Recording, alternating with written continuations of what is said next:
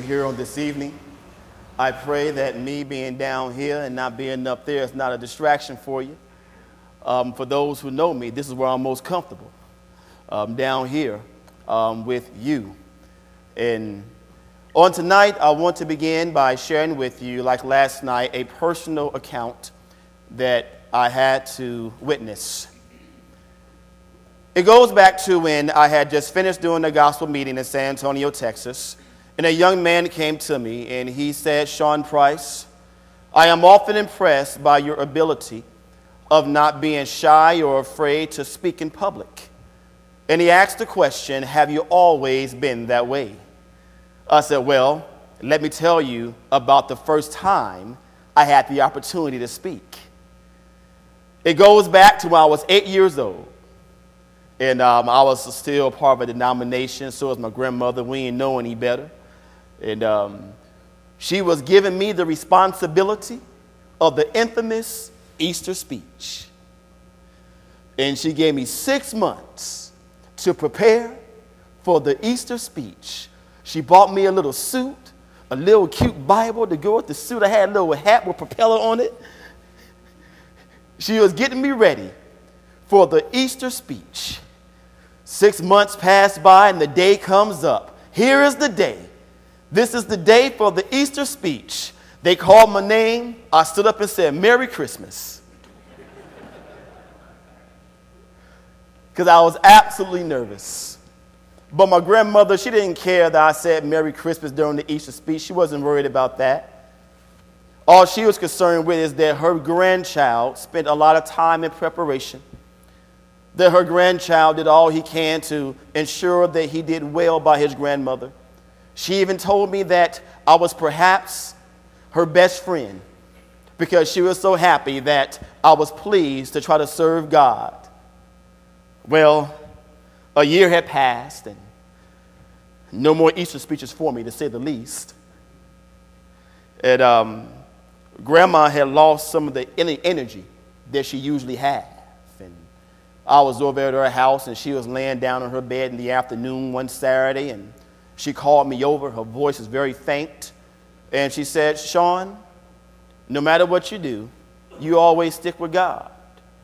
And then she kissed me right in the middle of my forehead. Now, of course, I'm nine years old. I'm trying to go outside to play. I said, Yeah, yeah, grandma. Yeah, okay, I got you. I want to go play. So I saw my grandma's house. It was this big baseball field. And children from all over would come over and play baseball. So we're out there playing baseball. But I began to notice that all of a sudden I saw cars pulling up in front of grandma's house. And my uncle and my aunt walked in. And all of a sudden my mother and my father pulled up in their car and they walked in. And a few of my cousins, they pulled up in the car and they walked in. And I started thinking to myself, they having a party without me. So I ran top speed to the house and I walked in. And the atmosphere was very stoic. Blank faces and blank stares is what I walked into. And I began to ask everyone who was there, what's going on? Why is all these people here at grandma's house? What am I missing? But no one would answer me. It was as if I was speaking to myself. So I thought to myself, if anyone who's going to tell me what's going on, it's my best friend, my bosom buddy, my grandmother. So I began to walk towards her room. Then all of a sudden, I was startled by the sound of the ambulance. And with me being the size that I was, as the paramedics rushed in, they pushed me to the side to get to where they were going. And I, was, I turned the corner to go into my grandmother's room, and I saw my mother walking out. And the tears began to well up in her eyes.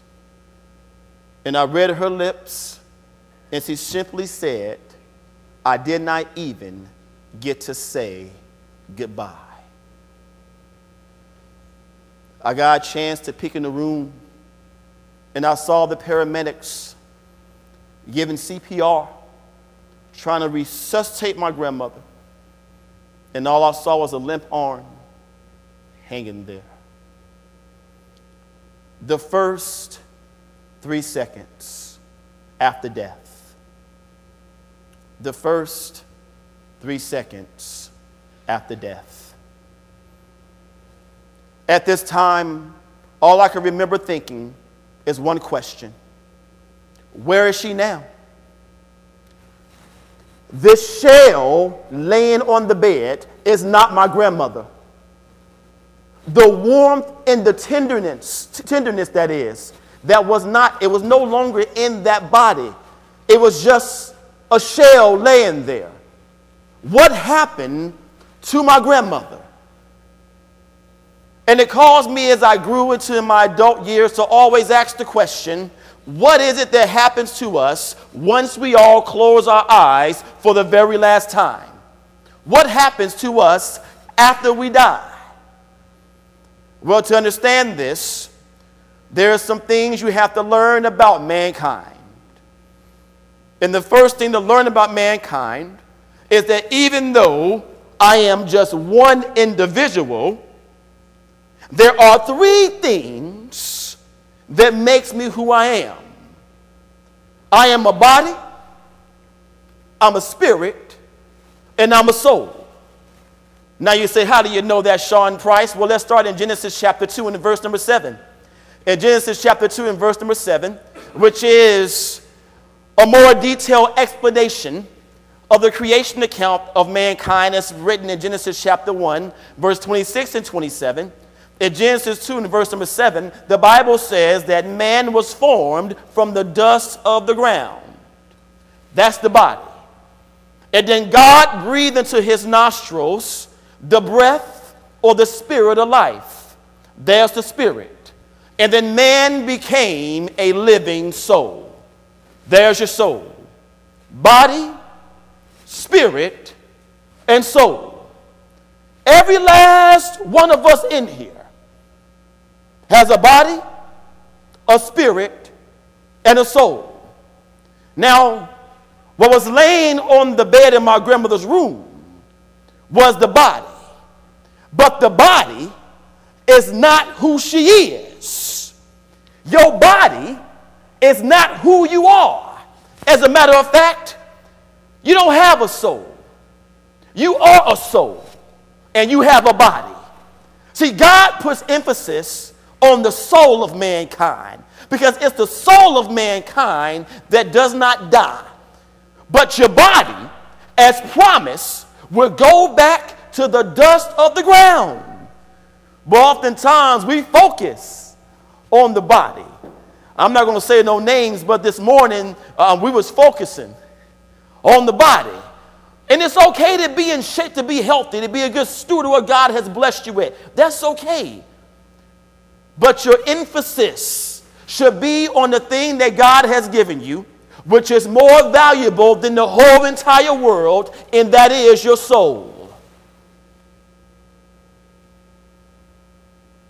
And because every man and woman and child in this room has a body, a mind, and soul, we need to understand our responsibility with those faculties. In 1 Thessalonians chapter 5 and verse number 23, the Apostle Paul writing there, he will say that he wills that our body will be holy, W H O L L Y, sanctified or set apart. And then he talks about the body, the spirit, and the soul. So, what does it mean to have those faculties set apart? That means that God endeavors for each one of our faculties to be involved with something concerning Him. Our bodies, for example, when you look at Romans chapter 12 and verse number 2, God says, verse 1 that is, God says our bodies are to be living sacrifices. So God has an intent for our bodies. Our bodies is not designed to be used for sin. Our bodies is not designed to be satisfying to the flesh, but our bodies are designed to do everything that we do for everything that we say to the glory of God. That's why we have a body. And when it comes to our soul, James chapter 1 and verse number 22, God wills for our souls to be saved and is saved by which is written in the Word of God. that is God's willful intent for the soul. And when it comes to the spirit, God's will, according to Romans chapter 8 and verse number 16, God wills for the spirit of mankind to be in sync with his spirit. Now, let me explain that I don't want to get too deep. The spirit that God gave man not only gave mankind the ability to live, but the spirit of man is also the sentient or the understanding faculty of man. Job 32 and verse number 8, the Bible says that the spirit, uh, uh, there's a spirit of a man by which the inspiration of the Almighty provides them understanding. In 2 Corinthians chapter 2 and verse number 11, we learn that the spirit of an individual is what tells what's going on inside an individual, which means that the spirit and the mind in that particular context is one and the same. And God wills for the spirit of man, the sentient part of man, to be in sync with his spirit. Now, the way that happens is not by any miraculous thing. You're not going to hear a whisper in your ear. Nothing's going to go bump in the night. But according to Ephesians chapter 6 and verse number 17, the Bible teaches that the Word of God is the sword of the Spirit. And the sword of the Spirit, the Word of God, is the instrument that the Spirit uses to influence those who are willing and open to follow what thus saith the Lord. Friends and brethren, this is not in the sermon, but let me say this, and I stand dogmatically and I say it firmly that you cannot be led by the Spirit absent from the Word of God. Amen. If you close the Bible, you have no Spirit. So the Spirit it instructs you through the Word. There are some brethren out there who is teaching some false stuff. They will claim that the Spirit operates directly upon the heart and it tells you what you can and cannot do. I just dropped by to tell you when you filter this through hermeneutics, that is inference, example, and command, there is no way whatsoever in doctrine do you come out with that premise. But God wills that your mind is influenced by what He has written in His Word. That means that if my mind, my spirit is being led by the Spirit, I have an open Bible, and what the Bible says do, I will do. What the Bible says don't do, I will not do. And I know there's some confusion with that. Someone asked the question, how do we know what to do and what to apply from the Bible? Well, it's very simple. Either God is going to tell it to you explicitly. For example, preach the gospel. That's explicit. That's an imperative statement. It's like me telling my daughter, clean your room. It's not a suggestion, it's not a question, it's an imperative statement. And her job is to, com- is to, is, is to um, um, follow or obey what I have commanded in the exact same way when God gives an explicit command, we are to follow what he has said. Or we have an approved example. Acts chapter 20 and verse number 7. Upon the first day of the week, the disciples came together to break bread. So, since we have the approved example of when they broke bread, then we follow that same approved example. So, therefore, we meet on the first day of the week to break bread. How you get Saturday night out of that, I don't know. How you get the first Sunday only out of that, I do not know. Because the last time I checked, there's a first day of the week every week. And then we look at the consistency of that, I find it very strange that they go to 1 Corinthians chapter 16, verse 1 and 2, and they want your offering on the first day of the week every week. But when it comes to the communion, it's just the first Sunday. Hey, as often as I take my cracker, you get my money. And it's first day of every of every week. That's a proof example. And necessary inference caused some confusion. HD and I had this conversation today that behind every explicit command, you have your necessary inference. For example, preach the gospel. That's explicit. So we necessarily infer that we don't preach politics, we don't preach gossip, we don't preach ourselves, but we preach the gospel. That's necessary inference. When the Bible tells us in Ephesians chapter 5, verse 19, as harmonized out with Colossians chapter 3, verse 16, and Hebrews 13, 15, how we are to praise God by the fruit of our lips, that is singing unto God, we necessarily infer that that excludes everything else. That's necessary inference. You know, that's one of the key questions I always get. You, you, you Church of Christ folk, y'all just can't stand instruments. Y'all don't like pianos. You don't like guitars. No, I like pianos, I like guitars, but I love God. And God has not authorized that. You know, I had to paint a picture to my daughter one day. You know, she asked, What does it mean about God authorizing something? And I said, Well, honey, let me put it to you this way. Let's say, for example, you have company come over to the house and you go get them a cup of water. And then when you come back, you find them in your bed, jumping on your bed with their shoes on and mud all over their shoes. And then you say to your friend, What in the world are you doing? And your, your, your friend replied by saying, Well, you didn't say that I couldn't do this. So therefore, I felt that I just can do it.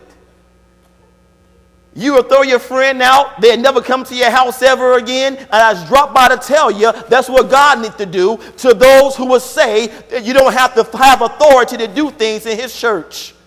This don't belongs to mankind, this belongs to God. And it's God who tells us what we can and cannot do in his church. And when I point to this, I'm not talking about this building, I'm talking about the system of belief. That pattern is not what we have created, but it's what God has created. He has spoken from the portals of heaven that we may obey it down here on earth, that we may find ourselves living with Him for eternity in heaven above. That's how we know what to apply. But that's only going to work when your mind is in sync with the Word of God. That's what God wills for the spirit of man. Now, what does all that mean? Well, Hebrews chapter 9, verse 27 will come up and catch you. And now, every last one of us, we will have to close our eyes in death. We all have an appointment that we cannot cancel. You can't call and say you're running kind of late. When your appointment with death comes up, it's going to happen. And what happens in that process, according to Ecclesiastes chapter 12, verse number 7, your body goes back to the dust of the ground. The spirit goes back to God in which it came. And in Psalm 16:10, your soul goes to hell.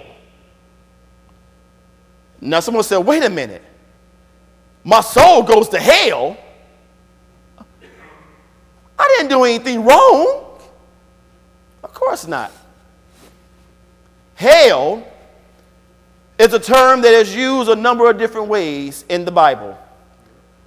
And the hell that I'm, I'm referring to is also known as Hades or the Hadean realm. That's where your soul goes. You say, Preacher, that sounds good, but can you prove it? Yeah, I can prove it. Look at Jesus. When Jesus died in Luke 23 and verse number 46, we see that when Jesus died, the Bible says, Into thy hands I commend thy spirit. So the spirit went back to God. And then in Luke 23, verse 52 and 53, we see that Jesus' body was taken down and it was buried in a tomb. So there's the burial of the body. And then in Acts chapter 2, verse 31, we see that his soul was not left in hell. So that prime example is there is with Jesus. But how about you and I? How about you and I? How about my grandmother? When we had her funeral, her spirit went back to God. How do I know that? Because in James 2:26, the body without spirit is dead. So the spirit went back to God already. We had her funeral. We buried her body in the ground. But where did her soul go? And to better illustrate this biblically, open your Bibles to Luke chapter 16, and where it started in verse number 19. Luke chapter 16, starting in verse number 19. And I'll be reading from the King James transliteration of the Bible. Where the Bible says, There was a certain rich man which was clothed in purple and fine linen and fared sumptuously every day. And there was a certain beggar named Lazarus, which was laid at his gates full of sores, and desiring to be fed with the crumbs which fell from the rich man's table. Moreover, the dogs came and licked his sores. Now, we're going to get to Hades in a second, but I need you to understand what's going on here. What you see here is the comparison of two men before the grave. The grave has not come yet. You have one man who is rich, purple, fine linen, and he fared sumptuously. And you have another man named Lazarus. He's poor. And I found it a very interesting comparison that was on the rich man's skin is purple and fine linen. But what's on Lazarus' skin is sores and dog saliva. A disparity. And then when you think about the cultural idea about this, the name Lazarus is the Greek equivalent of the Hebrew name Eleazar, which means that Lazarus is a Jewish man. And then when you look at this same text, you will see that the rich man is going to refer to Abraham as Father Abraham. A Gentile wouldn't say that. So this rich man, he's a Jewish man. So there's no problem with the man being rich. If you got money, to God be the glory, loan me a dollar. You having money is not sinful. But as you not helping someone who's in need, that's where you start having a problem. When you see someone who needs a hand up and not a handout, but you say, no, not my money, that's where you have a problem. We are to be about the business like the church was in the first century, to where has every individual have need. We are sharing what we have to ensure that our fellow brothers and sisters in Christ are well taken care of. So when you don't share what you have for those who are in need, that's when you have issues. And that's why I see with this rich man and Lazarus. Now, watch what happens. Even though the rich man had money and Lazarus didn't have money, the common denominator took place in verse number 22. The Bible says, And it came to pass that the beggar died and was carried by the angels to Abraham's bosom. Now, picture it. Now, I don't want to hurt nobody on this side, but you guys over here, you are Abraham's bosom. This is where Lazarus went to Abraham's bosom. So you are all little Lazarus. Then the Bible says, watch this. The rich man also died and was buried. Now, what I find interesting is this you can have money, social status, education, all the friends in the world. But when you die, all that stuff is worth a hill of beans. Most gladly, you brought nothing into this world, and you will not take anything out with you. You can waste all, I don't want to say waste, you can spend all your time you want to, working overtime after overtime, spending time away from your family you can spend all the time you want to trying to compile up all this stuff. But let me tell you something. When you're laying on your deathbed, there are two questions you have on your mind Is my God pleased with me? And is my family going to be okay? No man lays on his deathbed wishing that he had spent more time at the office. So it doesn't matter how much you have. What matters is how well you're doing when it comes to God's will. So they both died, and the rich man was also buried. And the Bible says, and, and in hell, he lifted up his eyes, being in, watch this, torments. You guys over here, this is all torment. Sorry. And don't try to leave your seat and come sit over here to Abraham's bosom. Because I'm going to show you in a second you can't do that biblically anyway. So, Abraham's bosom, we have torment. Watch the request. And he cried and said, Father Abraham, have mercy on me and send Lazarus that he may dip the tip of his finger in the water and cool my tongue, for I am tormented in this flame. Y'all are all hot and thirsty. And all the rich man wanted was for someone from over here to dump their finger in water and just give them a little drop of water to cool their tongue. Now you may ask the question, why can't they just go and get the water themselves? Why can't they do that? Well, watch this. But Abraham said, Son, remember that thou in thy lifetime receivest thy good things, and likewise Lazarus evil things. But now he is comforted, and thou art tormented. And besides all this, between us and you, there is a great gulf fixed, so that they which would pass from hence to you, they cannot, neither can they pass to us. They will come from thence. So, this whole pathway right here, this is the great gulf. And the great gulf is designed for those who are in torment after the grave. You cannot get it right then. Your opportunity to get it right is before the grave.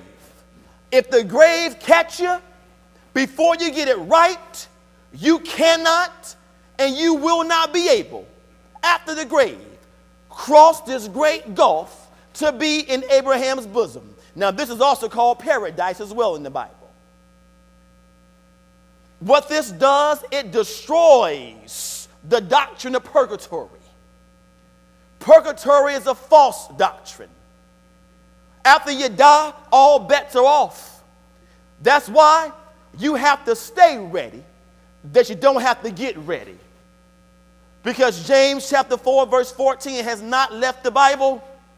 Your life is but a vapor, and you have no idea when your appointment is. As a matter of fact, each and every last one of us can walk out of this building, an airplane can fall from the sky, and we can all drop dead tonight. And the question is if that was to take place, where will you be the first three seconds after death? Will you be in paradise, Abraham's bosom? Or will you be in torment, which is also known as Tartarus? Where will you be? Someone just said tartar sauce. I didn't say tartar sauce. Tartarus. Where will you be? the first three seconds after death. Well, watch this. The first request was for Abraham to send Lazarus over to dip the finger in the, in the water. And Abraham said, No, he can't do that. Look at verse 27. Then he said, I pray thee, therefore, Father, that thou wouldest send him to my father's house. So, so the first time, I want you to send him over here to me. You can't do it. So if, if you can't come over to me to help comfort me, send him to my father's house. Now, now look what's happening here. The rich man has already accepted the fact that now that I am in torment, now that I can't get across the great gulf, I cannot change my position. I cannot change my circumstance. And as a matter of fact, what people are doing on the other side of the grave, they cannot change my circumstance neither. Now, why do I say that? Because there are many people in the world today, they refuse to obey the gospel of Christ because they believe if they do what thus saith the Lord, that by some strange way, that gives them the power to make their loved one move from being in paradise to being in torment. That's why they won't do it. But what you're missing is while you're concerned about your loved one who already understands that their condition cannot change because it's after the grave, your loved one is concerned about you because you still have the opportunity to do it correctly. Now, this is what I struggle with. You see, my grandmother was my best friend, and she died in a denomination. It drove me to tears when I heard the truth. I fought against it. Not my buddy, not grandma. She was a good woman, not my best friend. She just kissed me on the forehead and told me to stick with God. How was she in torment? I'm not going to do it. I'm not going to obey the gospel because I'm not going to put my grandma in that bad place. But the gospel preacher who was teaching me very tactfully asked me a question. If grandma was here with you right now, hearing what you were hearing right now, what would she have you to do? I said, Sir, before she died, she kissed me on the forehead and told me to stick with God. She would have me obey the gospel. Did he said, in what greater way to honor her memory than to arise and be baptized into Christ? And what better way for you to keep the promise, to stick with God, will there be than for you to know that you're saved? Because let me tell you something. When somebody loves you, and I think about this because I'm a father, you know, I love my children. And the worst thing that can happen to me, even worse than me seeing that I'm in torment? Is to hear a voice behind me that says, Daddy, is that you?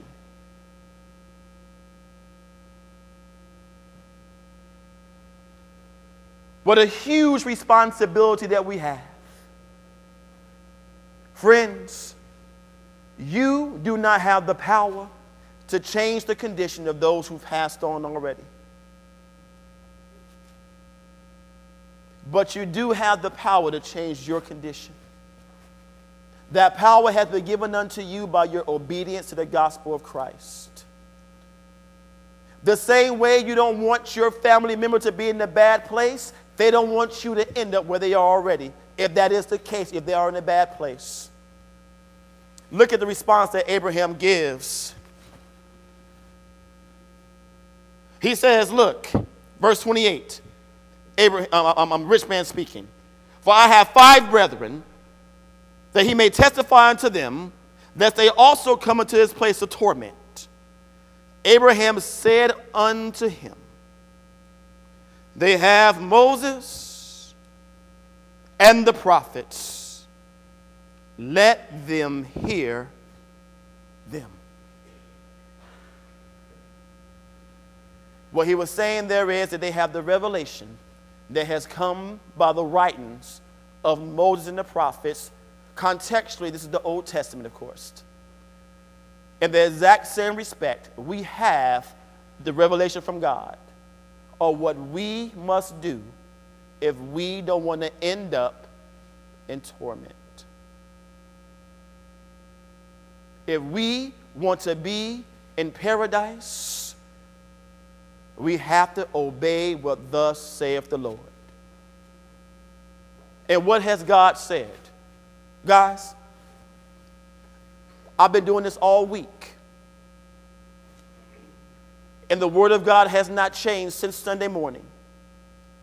God has said the same thing over and over and over again.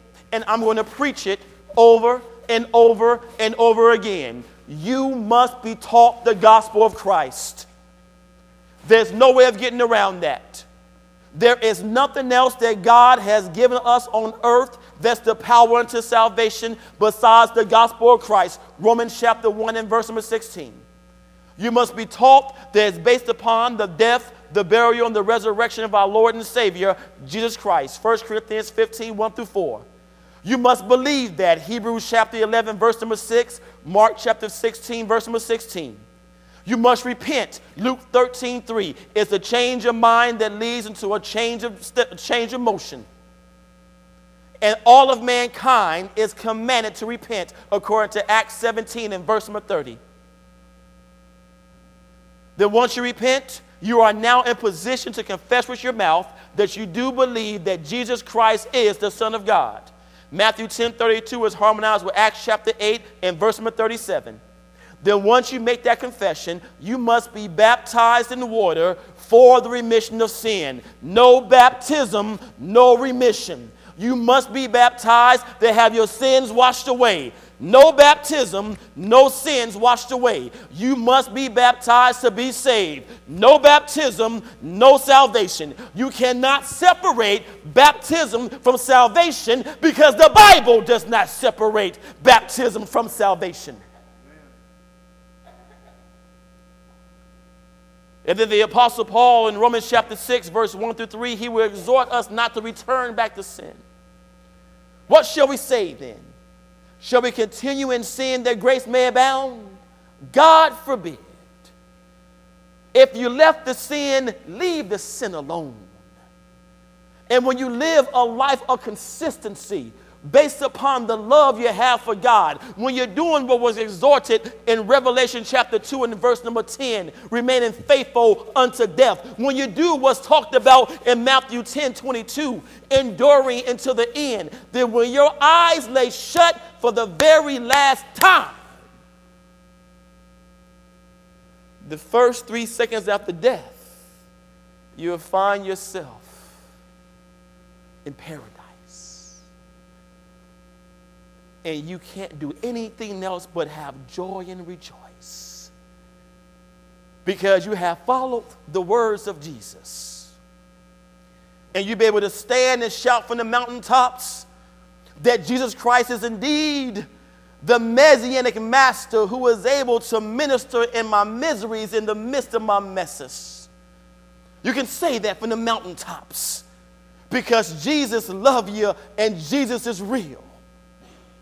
And here's what's powerful about paradise. You know, someone asked the question, well, if if if people are going to be in paradise already, and folks going to be in torment already, then what's the reason for the judgment day? Well, let me explain like this. If H.D. Simmons goes out and kills six people, y'all better have some bail money, praise God cold blood murdered six people. When they arrest them, they're going to hold him in the county jail. Now he already know He's messed up. There was five witnesses, six people dead. He's being held in the county jail. And then after that, there's going to be a trial where he must stand before the judge. And then the judge, once he's found guilty, is going to send him to the big house. When it comes to the reason why there's a judgment day, that when you die, the first three seconds after death, you go to the Hadean realm because you're being held there. But then when the Lord comes back, when the trumpets sound, when the dead in Christ shall rise first, and then those remaining in Christ shall rise, when the Lord comes back, when the, when the Lord comes back and you see people who have not obeyed the gospel of Christ, who do not know God, and they have to face that fiery indignation, they have to face the wrath of God, Romans chapter 1, verse 18, 2 Thessalonians chapter 1, verse 7 through 9. When that happens, then you know where you're going to be for an eternity. Those in paradise, that's the dead who in Christ who shall rise first. And they will be with God for an eternity. And if you don't understand what eternity is, it's longer than forever. It's like forever, ever, ever, ever.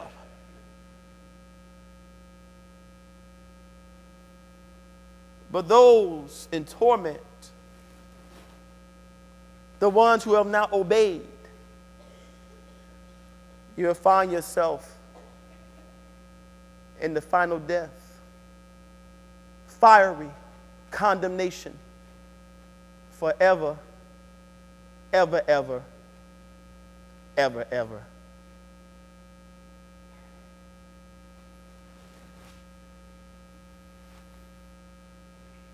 When my grandmother passed away, the only solace that I had left was remembering the way that warm, tender kiss felt on my forehead. But I did not have the solace to say, at least I know that she's in a better place. Don't do your family like that.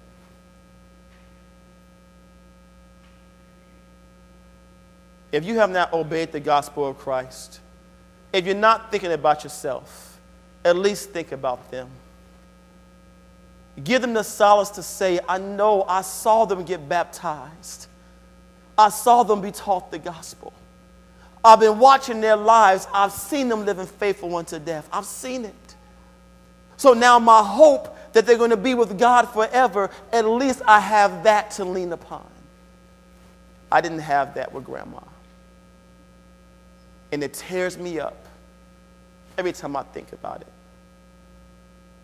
I tearfully wrote this sermon because I thought about her. But I'll tell you this even though I had a reason to be angry, even though I had a reason to be depressed, what it did was motivate me to begin to live more for God and motivate me to wake up every morning and thank God that I had the opportunity to hear that glorious gospel that was able to save my soul.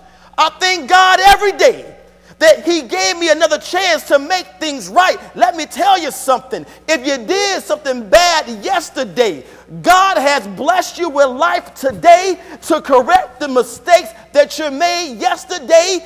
Everyone don't have that blessing, but we have that tonight.